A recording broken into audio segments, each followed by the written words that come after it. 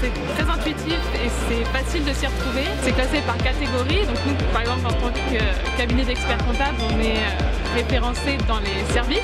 Du il est facile de nous trouver et même pour nous à l'inverse, il est facile d'aller trouver des prestataires dont nous avons besoin dans notre euh, entreprise.